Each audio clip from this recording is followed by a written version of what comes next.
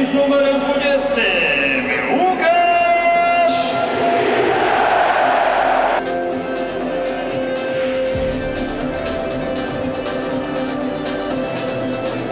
Szanowni Państwo, Łukasz Piszczek rozegra dziś ostatni mecz w reprezentacji polskiej. Z tej okazji prezes Polskiego Związku Piłki Nożnej, pan Zbigniew Boniek, wręczy mu pamiątkową paterę. A my dołączamy serdeczne podziękowania dla naszego wyjątkowego reprezentanta, który rozegra dziś 66 mecz biało-czerwonych barwach.